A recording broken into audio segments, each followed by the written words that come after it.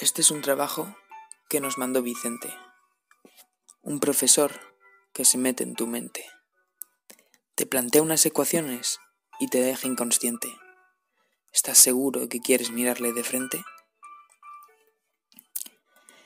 Él nos enseña los sistemas con los que aprobamos los temas.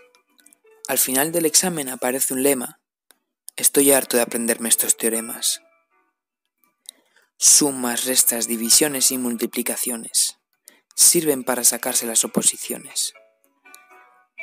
Pero son más útiles las ecuaciones, que para sabértelas te ayudan las canciones.